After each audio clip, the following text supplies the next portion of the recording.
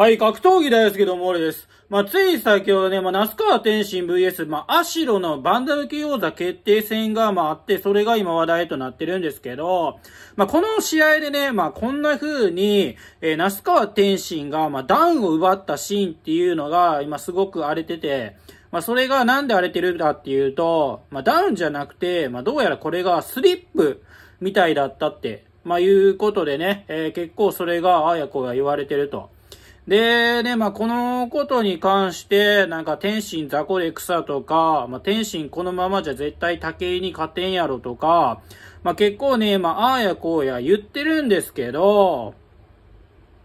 まあ、確かにこれ相手の選手、えー、すごくね、えー、手強かったなっていうのは、やっぱり思いましたね。でね、まあ、これがスリップとか、じゃなくて、そういう問題じゃなくてね、えー、まあ、最終的に、えー、天心が、えー、この試合でね、えー、結果出せばいいっていうだけなんで、まあ、武井に勝てんやろとかっていうのは二の次なんで、ね、えー、このことに関してなんかあやこうやってるやつは俺はほんまふざけんなっていうのは思ったし、えー、まあ、今回やっぱり結構天心もパンチもらってましたね。うん、あんだけもらうパンチっていうのは、なんか俺、初めて見たぐらいなんで、うん。えー、今日の試合内容に関してはちょっと天心も、えー、自分自身もね、えー、なかなか、えー、うんっていう内容だったなっていうのは、個人的には思うんですけど、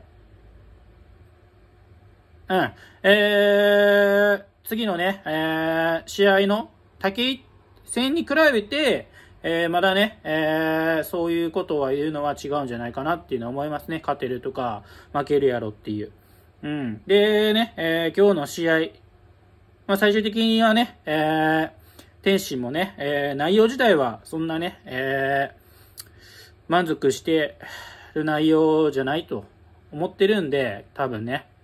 うん。えー、この試合のね、結果を踏まえて、え相手の選手がやっぱり手強かったなっていうのは、すごく思いましたね。うん。で、俺は試合内容にしてはすごくね、楽しませた。